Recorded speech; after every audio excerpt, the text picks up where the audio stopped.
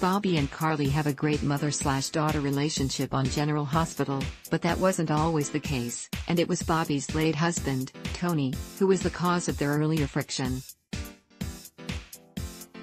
But newer GH fans might have found themselves wondering, who is Tony Jones? Well, that's where we come in.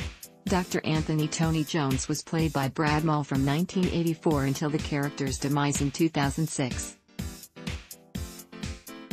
During this time, Maule received two Daytime Emmy Award nominations, Outstanding Lead Actor in 1995 and Outstanding Supporting Actor in 1997. Tony was the older brother of WSB spy Frisco Jones, and even stole his girlfriend, Tania Roskov. The couple married and had a daughter, BJ Jones, but Tania was killed by a hit-and-run driver who Tony actually had to operate on at the hospital. We're guessing Tania couldn't resist that snazzy sweater. ABC Photo Archives slash ABC via Getty Images Tony enjoyed a brief marriage to Lucy Coe, but maybe enjoyed isn't the right word since they quickly split up after she cheated on him. He later married Bobbie Spencer, who adopted BJ.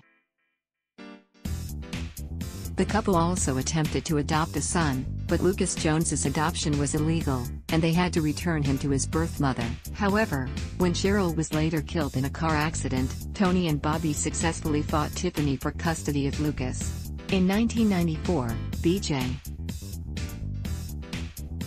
was killed in a school van accident, and Tony agreed to allow the little girl's heart to be given to her cousin, Maxie Jones, who wouldn't survive without a transplant. This family tragedy, combined with Bobbie's affair with Damian Smith, led to Tony and Bobbie's split.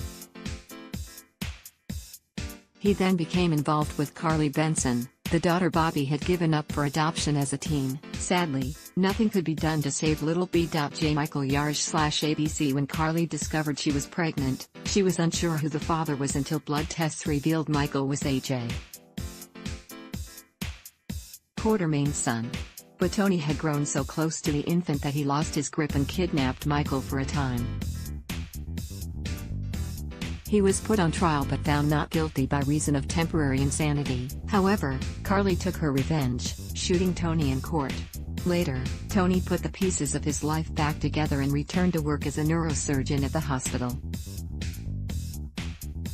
He was also supportive when adopted son Lucas came out of the closet and revealed he was gay. Bobbie was by Tony's side as he passed away. ABC Tragically, Tony died in February of 2006 during an encephalitis epidemic at General Hospital.